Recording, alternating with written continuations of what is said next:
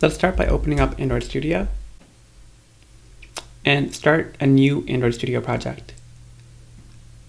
Choose Empty Activity and make a new project and we'll call it Kotlin Recycler View. Choose a package name and pick a location. Make sure the language that you select is Kotlin and also make sure that you check this box for use AndroidX artifacts. Then you can tap on finish. So let's take a quick tour of what Android Studio provided for us. First, it created this main activity Kotlin file. You can think of an activity as a screen on Android. And the important line here is set content view. What this is saying is the content of our main activity will be the layout resource called activity main. And so you can either command click to get to that file or go into resources, open up layout and open up activity main. And you should be able to navigate to the XML file representing the main activity. Um, one other file that we can talk about is the build.gradle file. This is where we will be adding other libraries into our project. And finally, there's an Android manifest file, which is where we'll add permission. So the first thing I like to do whenever I create a new project is simply to run it. And so the way we can do that is either by tapping on this button for run app, or the shortcut is control R. We can run the app and you can see that all we're seeing is the main activity with the hello world text. To get started with the recycler view, let's go back to the guide from CodePath. And there's a section in the guide called using the recycler view. So we're pretty much going to follow the steps outlined here. The very first thing is we want to add the recycler view index library to the Gradle build file. And we could add it manually into the build Gradle file, but there's actually a way that Android Studio could do it for us. Open up the activity main, the XML file, and delete the hello world text view. And here we can actually just drag in the recycler view. You should see it as part of the common palette. Let's give us give ourselves a bit more room to work with. So if we just drag out the recycler view, you can see that Android Studio will then prompt us to say, this operation requires this library. Would you like to add it now? So if you tap on OK, Android Studio will do the work for us. So in particular, if we open up the build.gradle file, what you'll see is that Android Studio has simply added this line. So what you should do now is tap on the recycler view in the component tree and open up the attributes tab. I've noticed sometimes that Android Studio has this weird bug where it won't actually show you attributes. And if you're seeing that, then just quit Android Studio and open it again and it should show up. But basically you want to see things like the layout width, height, and ID for each component in the component tree. So for the recycler view, the first thing we'll do is give it an ID. So we'll call this RV contacts because we're going to be showing a list of contacts. And by default, the layout width and height will be the size of whatever preview phone you have. But typically it's not good to hard code the size because then, for example, if we have a larger device like this, a tablet, then you can see that the recycler view is not filling up the whole screen, which is not great. You want this to be flush with the edges. So I'm going to just constrain each of the sides to the edge of the screen. And then we want the layout width and height to both be match constraint, which basically means fill up the entire view. So now that we have the recycler view dragged in, let's go back into our main activity and actually start to reference it. And so the way we can make that work is just say, start typing the ID of that view, and we call it RV contacts. And just to make sure that we're able to get something working, set the background color to be red. And now let's try running the app what we expect is that the hello world text has gone away, and now we should see the recycler view with the red background show up. So we can see that indeed the red background is there and there's no more hello world text. Let's go back now to the guide, and you can see that we've done number one and three. We've added the library for recycler view, and we've added it to the activity to display the items. Let's go back and do number two, which is to define a model class to use as the data source. The way we can do that is open up the directory where mainactivity.kotlin is located. And we're going to add one more file there called contact.kotlin. So call this contact. And Kotlin actually has a very nice construct for data classes, and it's actually called data class contact. And the idea here that there's no business logic. This entire purpose of this class is to package up different attributes into something called a contact. And you can think of a contact like a phone address contact. So we're gonna we're going to have two attributes, one which will be name, and that'll be a string, and then a second which will be the age, and that'll be an integer. Going back into main activity, our goal here is we want to invent a method called create contacts, and this is how we're going to manufacture a bunch of contacts that our recycler view will, will show. So I just started typing the name, and Android Studio will help us to create this method. So the return type will be a list of contact. And now the responsibility of the body of this function is to actually create a list of contacts. And the way we'll do that is say val, val contact, and that this will be a mutable list of contact. We're iterating in a for loop from 1 to 150. So we're going to be creating 150 different contacts. So the name will just be person number i, where i is the index of the for loop. And then the age will simply be the index i. And at the end, we'll, we'll return contacts. Because there's only one line in the body of the for loop, we can actually omit the curly braces. Now let's capture the return value of the create contacts method, call it contacts.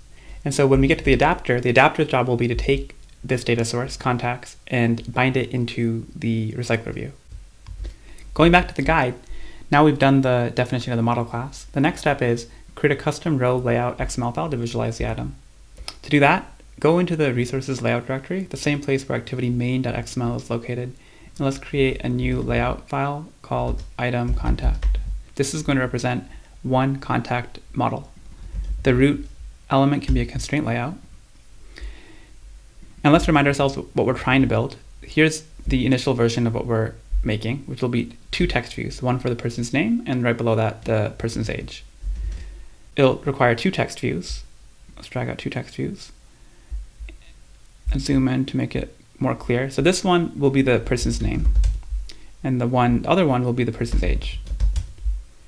Just to make it look more realistic, let's put in some sample data. For sample data, it's generally preferable to actually use not the text attribute, which is we won't know until we get the contact model, but for previewing data, you want to use the tool namespace, which is the wrench text attribute. So let's delete text view here and put in some sample data.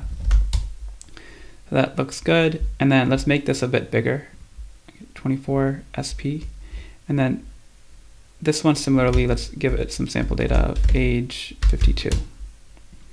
Okay, so now we need to constrain these views so the Android system will know how to display them. For the name, let's make it 8 pixels from the top of the screen and also 8 pixels from the left end of the screen. For the age text view, we actually want this to be relative to the name. We want it to be right below with maybe a margin of, let's say, 4 pixels. And we want it to be also 8 pixels away from the left end of the screen, so now that they're aligned. Now that we've defined the custom row layout XML file, the next step is to define the adapter and view holder, which will glue everything together. To do that, let's go back into Android Studio, open up the project view, and let's create a new file in the same directory as the contact model called contact adapter. And the contact adapter is going to extend the recycler view adapter, and the recycler view adapter is going to be parameterized by a view holder, and the view holder is a wrapper around the view which allows the recycler view to do the actual recycling. So let's define that first. We're going to define an inner class called view holder, and this is going to extend the recycler view view holder. And the view holder takes in a parameter um, called item view. And so now that we've defined the inner class view holder, we can start referencing that here. Once you've done that, Android Studio will help you to implement these abstract methods that every adapter needs to implement. Before we start in the implementation of these methods, there are two key attributes that we need in the adapter. First, we need the context. And second, we need a list of contact. Now we have everything we need to finish the implementation of the adapter. So let me copy over some comments that explain each of these methods. On create view holder, involves inflating a layout from XML, which is the item contact XML that we defined, and returning it inside of a view holder. The job of get item count is to return the total count of items in the list. So that's pretty straightforward. It's simply going to be the size of our list of contacts. So we'll say return contacts.size. And the nice thing about Kotlin is because this is a single line of code, you can actually just say equals contact.size. And finally, we have on bind view holder. And its job is to take the data at this position and bind the data from that contact into the view, which is held onto by the view holder. So let's start with on create view holder. And this is where we need the context. So we're going to grab a layout inflator from the context that we passed in. and inflate the layout file that we defined. So this is going to be item contact. And there's going to be three parameters here. The second parameter is the root view group, and this is going to be the parent, which is passed in. And finally, attached root, and we're going to pass in false. And this is going to create for us a view. And so the job is we need to return a view holder type. And so we're just going to say return view holder and then pass in the view as as the constructor argument. And because this is a single line, we can just combine these. The next and final method is on bind view holder. Grab the contact data, which is located at this position. We're going to call this contact. And now we want to take the view holder and bind the data into it. And so to do that, I'm actually going to invent a method called bind, which is on the view holder class. And I'm going to pass in the contact. Android Studio can help us to create this method. So this is inside of our custom view holder. And the job here is we want to take the different components in our item contact XML and bind the data into it. And so we can do this by referencing the views by their ID. So the name, for example, is TV name. So we'll say item view dot TV name, and we want to set the text, for example. And the text should be the name of the person. And then similarly, we want the age we'll say age colon, and then we'll give it the name of contact dot age. Now that we're done with the implementation of the contact adapter, the last step is to bind the adapter into the recycler view. Basically what that means is we want to create a new instance of contact adapter inside of main activity. So we want to set the adapter on the recycler view. So we'll say adapter is equal to contact adapter. And this will take in two parameters, one which is a context, and second is a list of contacts, which we just defined above. And the second thing that we need is a layout manager so that the recycler view knows how to lay out the views on the screen.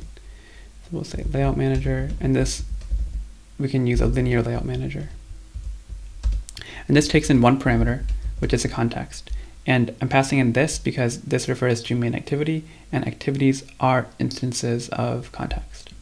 So let's get rid of the background color, setting it to red, and now let's run the application.